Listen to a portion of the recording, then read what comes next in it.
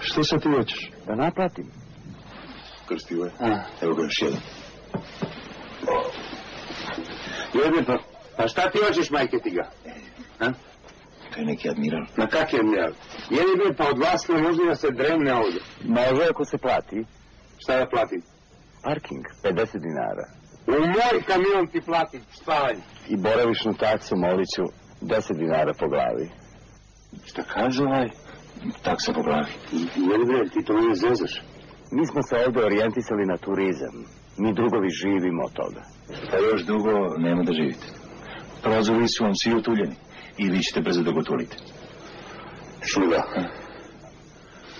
Davi kamion. Nećete da platite. Kićanke tvoje da plaćam. Molim?